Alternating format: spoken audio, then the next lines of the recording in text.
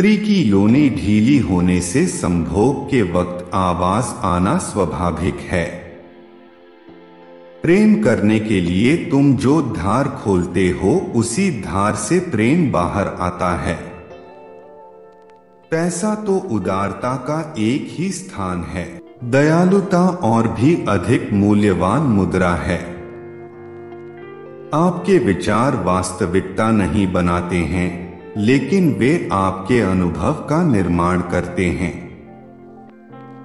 आपके शांत मन और केंद्र से आने वाले कार्य हमेशा भय, अपराध बोध या क्रोध से उत्पन्न होने वाले कार्यों से अधिक प्रभावी होते हैं। हर वह व्यक्ति जिसे आपने अपने पर निर्भर होने के लिए बनाया है, आप उन पर समान रूप से निर्भर हैं। कोई भी रिश्ता स्वस्थ नहीं है।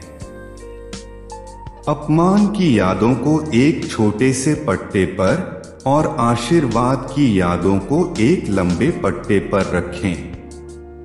प्यार की मौजूदगी को पहचान लेने वाले लोगों के अनुभव में प्रतीक्षा का कोई अस्तित्व नहीं होता।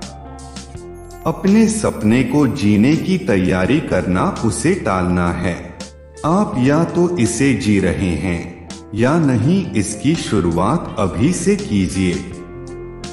दुनिया को एक बेहतर जगह बनाने के लिए दुनिया को एक बेहतर जगह के रूप में देखें। पहली बार संभोग करने का समय स्त्रियों में ज़्यादा समय का नहीं होता है।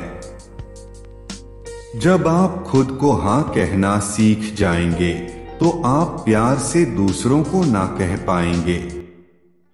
जब आप खुद को दर्द से बचाते हैं तो सुनिश्चित करें कि आप खुद को प्यार से न बचाएँ। किसी स्त्री की योनि से पानी तभी बहता है जब वह संतुष्ट हो जाती है।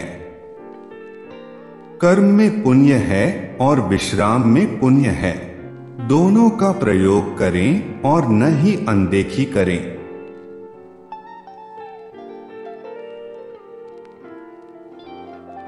अगर वीडियो अच्छी लगी हो तो लाइक कर देना और अगर ऐसे ही प्रेरणादायक वीडियो देखना चाहते हो तो हमारे चैनल को सब्सक्राइब कर लीजिए क्योंकि मैं आप लोगों के लिए ऐसी ही एजुकेशनल वीडियो लाता रहता हूँ।